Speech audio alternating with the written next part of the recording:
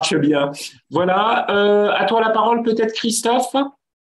Oui, euh, donc euh, on va, je vais présenter Yves Andrès, qui sera notre prochain conférencier. Donc Yves Andrès est docteur en biologie cellulaire, microbiologie et environnement de l'Université de Strasbourg. Yves a débuté sa carrière en 1994 en rentrant à l'école des mines de Nantes au sein du groupe de radiochimie du laboratoire Subatec, qui est une UMR locale.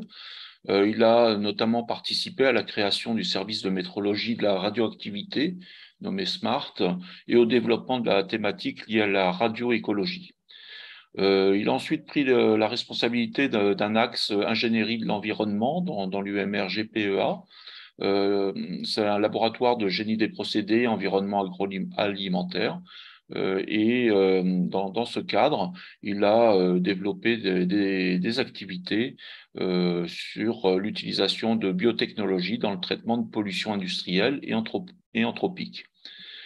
Euh, donc euh, actuellement, il a, il a centré ses, ses activités euh, autour de la, la qualité de l'environnement et du travail, et il est membre de l'ANSES et membre du comité scientifique des International Congress of Biotechnique for Air Pollution Control, et donc il s'occupe dans, dans, nos, dans nos proches de nos domaines de la biodégradabilité et de la pollution de l'air.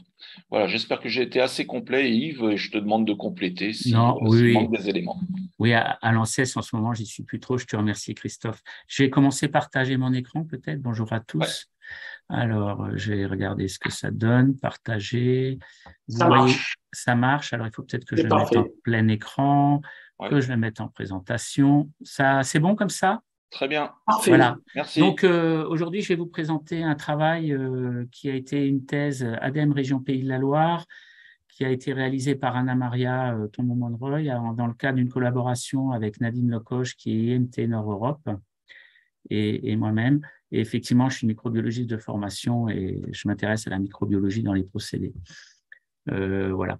Donc, euh, je vous ai proposé un titre sur la méthodologie de l'étude de la résistance au développement des micro-organismes sur les matériaux isolants biosourcés et conventionnels utilisés dans la rénovation du bâtiment.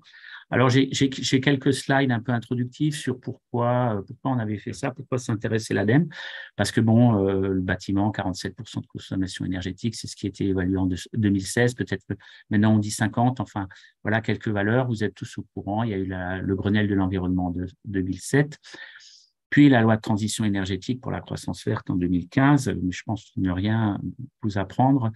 Mais voilà donc euh, quand même des incitations à isoler les bâtiments, puisque le secteur du bâtiment est un gros consommateur d'énergie, je ne sais pas, mais en tout cas où les problèmes énergétiques sont importants. Donc après, il y a eu nation, les plans nationaux santé environnement, pardon, avec une notion aussi euh, sur la qualité de l'air intérieur, parce que ce travail, je vous présente que la moitié du travail, il y a une partie sur les émissions de composés organiques volatiles hein, liés à l'utilisation de ces matériaux, est-ce qu'il y a émission ou pas, et de la croissance microbienne. Mais aujourd'hui, je vais me focaliser sur euh, le développement microbien.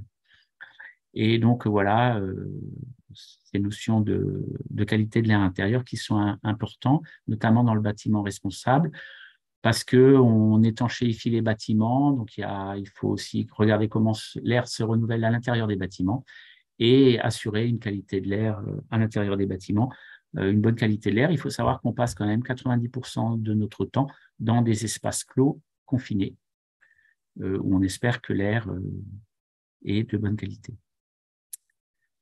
Donc, une alternative intéressante, ce sont les matériaux de construction biosourcés, mais je ne vais pas vous faire l'article, vous êtes tous convaincus que effectivement c'est très intéressant et nous également.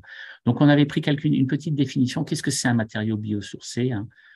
Donc euh, comme toute définition, elle peut être euh, discutée, mais c'est un matériau de construction ou les produits de construction et de décoration comprenant une quantité de matière biosourcée. Alors euh, déjà une matière, qu'est-ce que ça veut dire? Et une quantité, il n'y avait pas de définition particulière et puis la matière biosourcée issue de la biomasse végétale ou animale pouvant être utilisée comme matière première. Donc, euh, quelques, voilà, les isolants biosourcés, euh, on, peut les trouver dans différents, euh, différents compartiments du bâtiment. Et nous, on a vraiment focalisé sur les isolants biosourcés qui représente environ 5% à l'époque en 2017, de la part du marché face aux non biosourcés. C'est peut-être un tout petit peu plus aujourd'hui, mais j'en suis pas certain. Et l'avantage des, matériaux biosourcés, c'est leur comportement hygroscopique et thermohygroscopique, la régulation de l'humidité. Mais qui dit humidité, qui dit fibre végétale, dit potentiellement, euh, potentiellement euh, pouvoir être le siège euh, du développement de, champignons principalement, hein, de moisissures ou de champignons. Et on sait que alors le, syndrome, du bâtiment malsain, c'est vraiment quand même des bâtiments qui, qui ont subi des forts dégâts, des, forts dégâts des eaux hein, pour que ça se développe, mais ça a été bien développé. Et puis, euh, ben, les moisissures dans le bâti, il y a eu un rapport de l'ANSES aussi il y a quelques années, en 2019, je crois. Et puis, les, rapports, 2016, pardon, c'est marqué devant moi, et les rapports euh, de l'OMS, quand même, que ben, s'il y a développement de moisissures dans le bâti, euh, dans les espaces où on vit, on peut avoir une augmentation des pathologies respiratoires et allergiques. Donc, euh, quand on combine un peu tout ça, matière première biosourcée, très intéressante, apport du micro-organisme, alors ça peut être au départ ou pour la vie du matériau, un comportement hygroscopique qui est intéressant dans le sens où les matériaux ont une capacité à, retenir et à rendre l'eau. Et euh, est-ce que la, question était, est-ce qu'il y a une, vulnérabilité au développement fongique des, des isolants biosourcés? Alors, on a développé euh, les objectifs, c'était regarder donc si ces matériaux biosourcés permettent le développement de micro-organismes. Donc, euh, ben, pour répondre à ces objectifs, on a regardé ce qui existait en termes de normalisation, j'y reviendrai tout à l'heure, et puis euh, ben, mettre au point un dispositif, système expérimental et protocole, permettant de tester le développement ou non des micro-organismes sur différents matériaux et caractériser la reproductibilité de ce développement. Et puis comparer des méthodes d'essai sélectionnées dans la littérature notamment normatif, pour euh, bah, regarder si euh, ce qu'on développait avait un sens ou pas. Alors, on avait euh, focalisé sur trois isolants. Un isolant qu'on a appelé A, qui est à base de fibres de bois, et puis quelques fibres polyester recyclées comme liant. Un traitement inifuge donné comme sels minéraux azotés et euh, une émission euh, à l'intérieur euh, A, mais je ne parlerai pas trop des émissions de COV, ce n'est pas l'objectif du jour. Un isolant B qui était fibre de bois, laine de verre, 50% de fibre de bois, 40% de laine de verre. Également un liant, un traitement préventif anticryptogamique pardon, qui, qui est basé à base d'isothiazolone qui avait été euh, qualifié comme aucune croissance fongique détectée selon la norme NF 15 101, qui a été retiré, je reviendrai, et puis un isolant classique, laine de verre, euh, tout à fait classique, qui était un peu notre témoin, euh, je ne sais pas positif, négatif, ça dépend comment où on se place, mais un témoin qui est quand même représentatif de ce qui est utilisé fortement.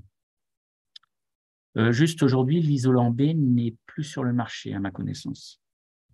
Mais bon. Donc en France, il y avait une norme, euh, la 1501, qui a été annulée en 2019. Mais je vais quand même prendre parce que dans le déroulement de notre raisonnement, il faut quand même, euh, faut quand même la prendre. Cette norme, euh, elle, avait un, elle proposait un conditionnement à 28 degrés, 95% d'humidité relative, au moins 4 heures, une, inoculation par un spray de sport, environ 10 puissance 5 spores par centimètre carré, une incubation de 28 jours euh, à 28 degrés et toujours en ambiance très humide, et puis une, évaluation visuelle euh, du matériau testé par un matériau de référence qui sert de témoin euh, positif. Et puis on avait ben, zéro, aucune moisissure visible, un, croissance de moisissure visible en plein œil ou nettement visible avec un grossissement, et ainsi de suite. Pour des gens qui, qui utilisent des matériaux biosourcés, que ce soit du métis, de la ouate de cellulose ou d'autres matériaux, ben, voir la croissance de champignons peut être très, très compliqué et euh, à l'œil nu ou même avec un grossissement, ça peut être très délicat. Donc, euh, comme je disais, cette norme, elle a été annulée. Et puis, euh, dans le même temps, il y a Le Bayon et, collaborateurs qui proposaient une nouvelle méthode. Après, il y a la Mouly et puis le CSTB avec Le Bayon avait aussi travaillé avec CSTB. Et puis, donc, on est parti en fait de tous ces protocoles et avis techniques pour regarder la robustesse et voir si on pouvait améliorer un tout petit peu les choses. Et juste la norme NF-EN 1501, elle a été remplacée en 2020. Je n'ai pas marqué la date, mais voilà. Alors, dans le cadre de ce travail de thèse, qu'est-ce qu'on a fait? On a cherché à évaluer la résistance des matériaux étudiés au développement de moisissures. Donc, euh, ici, la photo représente une souche fongique, hein, notre Aspergillus niger. Euh, bon, il y a un variotype, mais ça, ça n'a pas beaucoup d'importance. Et on a appliqué, la photo, en fait, c'est euh, sur un matériau biosourcé, mais là qui est bien, bien humide, hein. sans ajout de nutriments, mais bien humide. Euh, on a testé la méthode d'essai développée par le Bayon et puis on a essayé d'améliorer un peu ou de, contribuer au sujet. Alors juste, j'ai pas de slide dans ce, pour ça, mais il faut savoir que si on n'a pas d'humidité, on n'a pas de développement de moisissure. Hein, et euh, en fait, euh, on définit en microbiologie alimentaire et dans notre cas aussi, une activité de l'eau, c'est la capacité d'un matériau à se mettre en équilibre avec la, son atmosphère au-dessus dans un flacon fermé et on parle d'une activité de l'eau, euh, euh, par exemple, de 0,6. Si on a une activité inférieure à 0,6, il n'y a pas de développement euh, microbien. Et on est plutôt à 0,7, 0,8. Ça représente une, une humidité relative de 70% dans le, dans le milieu. Donc, il est évident que si on n'atteint pas ces valeurs-là, on n'a pas de risque de développement fongique. Il n'empêche que donc on est parti de la méthode de Le Bayon, un conditionnement, une semaine à 85%, plus ou moins 5%, un spray contenant des spores de, micro, champignons, quatre semaines d'incubation, et puis après une évaluation visuelle, absence ou présence de colonies. Vous pouvez voir les petits points noirs, hein, le matériau là, dans ce cas-là, il est beaucoup moins humide que la photo précédente, mais il a subi ces conditions, et on voit des points noirs, donc on pourrait dire effectivement présence de colonies. Et euh, ce que proposait le, le Bayon et collaborateurs, c'est de faire une extraction, faire un comptage des unités formant colonie, c'est-à-dire que en fait, on prend l'échantillon, on, utilise une solution d'extraction qui est composée d'une solution de sel de magnésium euh, pour l'isotonicité et d'un détergent euh, du twin 20 ou 80 pour l'hydrophobicité des spores pour extraire. Et voilà, l'évaluation, si on a plus d'unités formant colonie euh, après quatre semaines que euh, initialement déposées, ben on dit que c'est euh, si on en a plus au départ qu'à l'arrivée, on dit que c'est résistant. Si on en a plus après quatre semaines que initialement, on dit que c'est non résistant. il faut quand même préciser que dans la méthode proposée, on ne le réalise qu'une fois, même si c'est en triplicata, mais une fois. Donc, on va continuer de dérouler. Voilà. Euh, donc, on a utilisé nos trois matériaux en suivant la méthode. On a fait trois essais euh, avec l'évaluation euh, visuelle. Donc, on voit quand c'est 0, on voit rien. Quand c'est 1, on voit. Et puis après, ce qui va être intéressant dans la discussion, c'est de comparer les UFC AT0 et AT4. Et en fait, on, on s'est rendu compte qu'il y avait quatre cas de figure. Alors, je vais les développer. L'isolant C, c'est la laine de verre, hein, donc les trois essais. L'évaluation visuelle, il n'y a pas de développement. On a une petite hétérogénéité euh, sur euh, l'inoculation initiale. Hein. on y a 5,4 euh, UFC par centimètre carré. Et puis après, log UFC par centimètre. Ce sont, des logs. Hein et on est à 3,8, 2 et 2,3. Donc là, on voit quand même que le matériau est résistant au développement de la moisissure, puisque on a beaucoup moins, on perd euh, de log, euh, pratiquement de log, ouais, on a beaucoup moins de, micro-organismes que ce qu'on a inoculé au départ. Donc là, effectivement, euh, il n'y a pas de de, discussion possible. Après, on a l'isolant B, fibre de bois plus laine de verre où on a différents cas de figure. On a le cas 1 et le cas 3, où on a une évaluation visuelle où on voit effectivement quelque chose, et on se rend compte que euh, à T4, on a un log en plus que par rapport à T0, euh, donc euh, effectivement, il y a une non-résistance du matériau au développement de moisissure. Par contre, il était donné comme aucune croissance fongique détectée selon la norme, Donc, c'est déjà un questionnement. Et puis, on a sur les trois essais un essai où là, on ne voit rien visuellement, mais on n'a pas une décroissance, on a globalement la même quantité que ce que l'on a déposé au départ. Donc, on peut se demander, est-ce que ce matériau est résistant, non résistant? On a de la variabilité sur la réponse. Donc, c'est toujours pareil, est-ce qu'on veut voir le verre à moitié vide ou à moitié plein? Et donc, le matériau A, qui est juste des fibres de bois, on a les essais 1 et 2, où on a globalement euh, autant, on voit rien visuellement, et on a autant euh, euh, de micro-organismes réextraits que ce qu'on avait déposé. Donc, voilà, on ne sait pas. Et puis le 3, où là, on a une forte diversité, on ne voit rien visuellement. Par contre, on a un log de plus après 4 semaines par rapport au départ. Donc, encore une fois, finalement, on n'est pas en capacité de, répondre euh, est-ce que le matériau est résistant ou, non résistant? Toujours dans des conditions qui sont des conditions euh, assez dégradées, puisqu'on est à forte euh, concentration. Mais c'est comme ça dans la norme. Donc, première conclusion, variabilité des réponses des matériaux. on utilise un inoculum liquide, donc on rajoute de l'humidité de l'eau dans le système. Est-ce que cette humidité par rapport à l'absorption de l'eau sur les fibres et ainsi de suite, elle aurait un effet sur la croissance fongique? On ne sait pas. Donc, on a proposé une nouvelle méthode, une autre méthodologie. On conditionne toujours le matériau euh, une semaine. Euh, en fait, on remplace l'inoculation par une aérosolisation sèche qui est plus, plus proche des conditions réelles rencontrées par le matériau. Elle évite euh, l'apport d'humidité, la modification de l'activité de l'eau du matériau, et puis évite l'apport de milieux de culture, parce qu'inévitablement, quand on extrait à partir euh, les spores à partir de culture, on toujours, on n'est pas à l'abri d'amener quelques nutriments, de l'azote, du phosphore et autre chose. Pardon. On reste quatre semaines, on regarde toujours visuellement, mais on fait effectivement l'extraction et le comptage des UFC à T0 et après quatre semaines. Donc, voilà la chambre expérimentale, une chambre en verre, euh, on, fait euh, passer de l'air au-dessus d'une euh, culture d'Aspergillus sur un milieu spécifique qui entraîne les spores et qui, en entraînant les spores, en fait, vont contaminer les échantillons qui sont présents dans la chambre, dans la chambre d'inoculation. Et on pose également des boîtes de pétri vides, stériles, qui nous permettent de quantifier dès le départ la quantité de spores déposées par centimètre carré. On réextrait quand même trois échantillons euh, et on compte à T0 et on laisse six échantillons en incubation pour le comptage après quatre semaines. Euh, le dépôt euh, sur les trois boîtes de Pétri nous permet de savoir si notre extraction à T0, elle correspond à une réalité ou on a des problèmes d'extraction. Ça nous permet de vérifier ça. Donc, les essais par la nouvelle méthode, enfin, ce qu'on propose, on voit déjà que la quantité de spores déposées pour les essais, eh ben, elle est elle est, bien reproductible, hein, ce qui est quand même pas toujours évident. Hein. On travaille avec du vivant, alors une culture, ça peut changer. Donc ça, déjà, c'est un point qui est positif.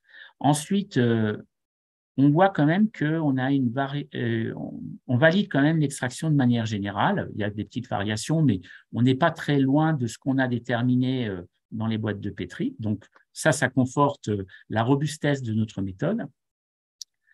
Et après, euh, on va refaire matériau par matériau. Donc euh, là, sur l'isolant euh, laine de verre, qui est notre référence, ben, on est toujours matériau résistant au développement de moisissures, hein, puisque on voit que ce qu'on a déposé, c'est homogène, mais on ne voit toujours pas, après, disons après quatre semaines, on voit toujours une perte d'un ou deux logs. donc voilà, il est résistant. Pour l'isolant B, mixte laine de bois, fibre de verre, là encore une fois, on ne sait pas s'il est résistant ou pas, puisque sur les trois essais, on en a on voit qu'on dépose la même chose, mais on voit encore une fois que le classement visuel, ben, il y a deux réponses positives, une réponse négative. Et puis, quand on extrait les UFC, ben, sur la réponse positive, on voit que finalement, on n'a pas une forte augmentation, on est plutôt resté à un niveau identique. Donc, en fait, on n'arrive pas trop à classer ce matériau. Et puis euh, l'isolant A, c'est pareil, on fait la même lecture. Euh, on fait la même lecture. Simplement que effectivement, dans le cas où on voit une croissance, on a une forte augmentation, et quand on ne voit pas de croissance, on reste au même niveau. Donc, finalement, on n'arrive pas à répondre est-ce qu'il est résistant ou non résistant au développement fongique? Donc, en conclusion, on voit qu'il y a une très forte variabilité des réponses des matériaux biosourcés vis-à-vis du développement fongique. L'importance de la quantification de la croissance fongique, elle est, avérée, parce que l'inspection visuelle, finalement, peut s'avérer très compliquée et puis on peut avoir de fausses interprétations. Par contre, ce que l'on recommande, c'est pas se limiter à un résultat, à un seul essai, mais plutôt plusieurs essais sur plusieurs échantillons, bien, euh, bien euh, statistiquement différents. Après, euh, finalement, on se dit que comme on voit des croissances malgré les antifongiques, les anticryptogamiques, finalement, euh, ça, ça a peu d'effet. Et puis, une recommandation, ne pas utiliser les matériaux isolants biosourcés dans des pièces dans lesquelles, en fait, le taux d'humidité peut être susceptible de dépasser 70%. Je pense à des salles de bain mal aérées ou à des cuisines mal, aérées également. Par contre, pour le reste, tant qu'on arrive à maîtriser l'humidité, euh, on est, assez tranquille. Alors, euh, dans les perspectives, quand même, euh, c'est approfondir dans la compréhension le cas de figure USC par centimètre calculé et après incubation, euh, quand ils sont quasiment égaux à ce qu'on a déposé. Est-ce que ça veut dire que finalement, là, il n'y a pas vraiment, il n'y a pas mortalité, mais il y a un taux de croissance qui permet de maintenir la population. Donc, on ne peut pas vraiment dire que le matériau est résistant puisqu'il permet de maintenir la, la population. Alors, depuis euh, ces travaux-là, on a, on a continué à travailler dans différents projets et on, voit que, en fait, quand on dépose des spores de champignons sur un matériau et que l'on met une activité de l'eau ou une condition d'humidité qui est inférieure à, à 60%, on retrouve ce que l'on dépose. Il n'y a pas de mortalité euh, des spores. Par contre, quand on met l'humidité, il peut y avoir euh, germination des spores, mais si le matériau ne permet pas d'apporter des nutriments, en fait, on va avoir une mortalité. Donc, ce qui veut dire que dans notre cas où euh, on a autant qu'on dépose après quatre semaines, autant de spores que l'on réextrait, ça veut dire qu'il doit y avoir un tout petit peu de croissance quand même, qui est faible, mais qui permet de maintenir la population. Donc pour ça, il faudrait qu'on creuse un peu parce qu'on n'est pas allé jusqu'à là d'essayer de, faire une, étude cinétique de la croissance. Alors, s'il y a des gens qui sont euh, très intéressés par ce que je viens de dire, euh, Anna, on a publié un article dans Building et l'environnement en 2020, puisque la thèse a été soutenue en 2020. Après, on a eu un projet Emibio qui était porté par le CEREMA euh, du Nord, là, de Lille, sur le comportement de ces isolants face aux moisissures dans un mur à des conditions réalistes, et puis un projet euh, Valomat Bio qui se, termine, qui est porté par Indigo et qui est euh, justement fin de vie des matériaux biosourcés, principalement isolants, et qui rejoint un peu la, présente, euh, la précédente présentation parce que on a regardé le réemploi, la fin de vie, d'autres filières, la valorisation énergétique, la valorisation matière, et, ainsi de suite.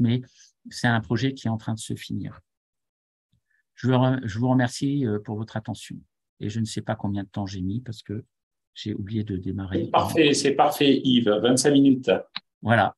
Alors, j'étais peut-être un peu rapide, mais comme je ne pourrais pas, après 11 heures, je serais obligé de vous quitter. S'il y a 5 minutes pour les questions, je veux bien prendre les questions tout de suite. Eh ben, eh ben, elles sont déjà sur le chat. Vas-y. Ah, je n'ai pas vu, pardon. Alors Yves, il y a une, question sur les champignons lignivores. Euh, là, on s'intéresse aux moisissures. Ne faut-il pas étudier résistance aux champignons lignivores euh, tu, as un avis là-dessus? Et quel, est l'impact du type de souche inoculée? Là, je sais que tu as la réponse. Euh. Alors pour les lignivores, ma science étant pas pour, moi toute façon, euh, déjà les moisissures, euh, les moisissures, elles ont des capacités à dégrader, euh, à dégrader des parties de lignes et autres. Pour, pour, répondre à cette question, pour moi, c'est la gestion de l'humidité qui, de toute façon, est, est la, clé principale. Si on arrive à maintenir des matériaux où on n'a plus pas, pas à monter plus de 60% ou 65% d'activité de l'eau dans le matériau, on n'a aucun, j'aurais tendance à dire qu'on a peu de chances d'avoir un problème. J'aurais même dire, tendance à dire on n'a pas de problème. Dans le projet Emibio, on a fait des, on a reconstruit des parois de matériaux à, à Amiens, à l'IUT, euh, à euh, en augmentant, euh, tant qu'on reste à des humidités de l'eau, des activités de l'eau, pardon, de moins de 65, 0,65, on n'arrive pas à avoir de développement. Par contre, dès qu'on est dans des conditions dégradées, avec des problématiques d'infiltration d'eau, de condensation, là, effectivement, les moisissures se développent. Mais il faut être vraiment dans des conditions fortement dégradées. Alors, pour répondre à la notion de souche, effectivement, ces souches dépendantes, toutes les souches ne vont pas pousser sur tous les matériaux. Effectivement, il y a des couples mais, euh, mais là, euh, on est parti avec Aspergillus niger. On a fait des choses avec Christophe et Lily. Euh, vous mettez des pénicilliums, vous mettez des cladosporiums. enfin, dans la nature, de toute façon, la dégradation de la biomasse dans les forêts, c'est des fongiques, hein, c'est des, moisissures et des champignons. Donc, il n'y a pas de secret. Donc, si on, on, peut prendre des souches qui ne se développent pas, mais comme en biologie, on aime bien avoir des témoins positifs, euh, si elles ne se développent pas, on ne les sélectionnera pas pour faire le test. Et dans la norme, euh, il y a une proposition de plusieurs souches, je ne les ai pas toutes en tête, hein, mais il y a Aspergillus niger, il y a un pénicillium, euh, il, y a, y avoir des cladosporium et autres. Donc, en fait, des fois, on ensemence avec un cocktail de souches, un mélange pour être sûr que on ne passe pas à côté d'une réponse potentiellement positive. Le but n'étant pas de dénigrer les matériaux biosourcés, mais de comprendre plutôt quel peut être l'effet de leur mise en œuvre et de la gestion de l'humidité relative dans le matériau sur le comportement euh, d'un développement potentiellement fongique. Et j'irai même plus loin de montrer que finalement, mettre des, produits antifongiques, euh, si on a beaucoup d'os, c'est comme si on ne faisait rien. Et pour la fin de vie des matériaux, c'est pas toujours agréable d'avoir un produit euh, du type isothiazolone euh, à gérer dans la fin de vie des matériaux. Mais ça, ça n'engage que nous. Une autre, une autre question sur les recommandations. enfin, Est-ce qu'il faut éviter les salles humides ou plutôt bien définir le système constructif frein-vapeur par vapeur? Donc, ça rejoint le. Ouais, alors ça, j'oserais dire que que oui, si, on construit bien les choses, on n'a pas de problème. Mais euh, tout le monde a vu que dans le bâtiment, ben, des fois, euh, les constructeurs font appel à des intérimaires, font appel à des gens qui n'ont peut-être pas toujours la conscience euh, du, du, geste juste. Donc, voilà, dans les pièces humides, je, resterai un peu sur... si on peut le mettre ailleurs, c'est mieux. Après, je, enfin, moi, j'interdis rien. Hein. je recommande juste de faire attention à l'humidité. C'est vraiment ça ma recommandation. Et euh, faut-il que l'exposition soit continue euh, Alors euh, oui, oui, oui, oui, oui, oui. Il faut quand même que ce soit continu. Alors si c'est sur si c'est sur trois quatre jours, le développement peut se faire. Sur un cycle jour-nuit, j'aurais tendance à dire que c'est beaucoup plus dur pour le micro-organisme en étant tout à fait euh, réaliste. Ce qu'il faut, c'est, pour répondre à cette question, ce qu'il faut, c'est que ça ne s'accumule pas, en fait, dans le matériau, l'humidité. Euh, tu, parlais d'activité de, l'eau, on parle, nous, plutôt en, général de courbe de sorption. Oui. Euh, donc, l'activité de l'eau retraduit plus l'humidité, on va dire, du milieu, d'équilibre du milieu. Oui, tout à fait. Dans le cas de la courbe de sorption, on a aussi le paramètre quantité d'eau qui va être euh, capté par le biosourcé. Euh, est-ce que tu, tu, il te semblerait légitime de mettre une, une limite à Alors, d'eau et non pas de. Oui, tout à fait. Alors, dans, le tableau, dans les tableaux que j'ai présentés, je suis passé un peu vite parce que c'est très riche comme travail. Euh, il y a toujours la quantité d'eau dans le matériau qu'on a déterminée par la méthode de Carl Fischer, et ça rejoint ta question. Euh, euh, oui, oui, ce serait bien d'arriver à détecter ce seuil et euh, j'ai pas encore tout, à fait trouvé la méthode. Euh, enfin, la méthode, je la connais, mais à mettre en œuvre, c'est un peu délicat parce que dans le projet Unibio, on, on commence à l'approcher avec, on a refait des parois, des parois dans des enceintes climatiques, donc à l'IUT d'Amiens, là, et on voit bien qu'il y a une limite, ce seuil. Mais ce seuil, j'aimerais bien arriver à le déterminer, mais euh, il faut trouver un financement parce qu'il faut les enceintes climatiques, il faut vraiment gérer les choses, maîtriser les choses, et il faut le faire pas par pas. Et c'est quand même des, des, expériences qui sont un peu lourdes. Ah on, Mais, le sait bien pour les avoir fait. Euh, euh, les, courbes de sorption sont toujours très longues et la zone qui nous intéresse impose des temps de mesure extrêmement longs. Oui, et puis des conditions entre l'extérieur et l'intérieur. Enfin, c'est. Mais, mais je, pense qu'il y a un seuil, ouais. Je, enfin, j'en suis même persuadé, mais je ne peux pas donner cette valeur de seuil. Aujourd'hui, ce que je connais, c'est le seuil qu'on connaît par rapport à l'activité de l'eau ou l'humidité présente dans un matériau. Mais comment le retraduire dans un mur qui vit, euh, même expérimentalement, dans une enceinte climatique, d'ensemencer avec différents champignons, parce qu'il y a des champignons qui sont dits xérophiles, qui ont besoin d'un peu moins d'eau pour se développer et tout, notamment les cladosporium. Bon, il faudrait arriver à trouver quelque chose, euh, une méthode expérimentale, mais je pense que ce serait, s'il y a des gens qui sont intéressés, euh, je peux répondre, hein, j'ai mon adresse email. Moi, je, ça m'intéresserait, mais c'est lourd à mettre en œuvre. Donc, il faut trouver un financement qui permette de, de soutenir ce projet parce que c'est beaucoup de travail expérimental et de maîtrise. Merci. Mais, euh, je crois qu'on ne va pas